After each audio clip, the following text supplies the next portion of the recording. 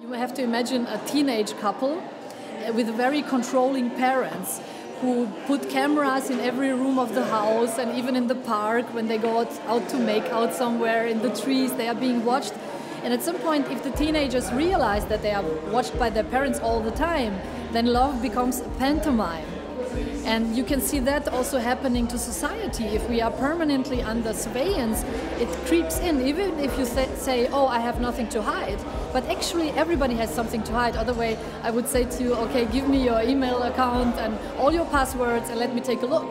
You wouldn't give that to me. Why would you give it to foreign uh, governments?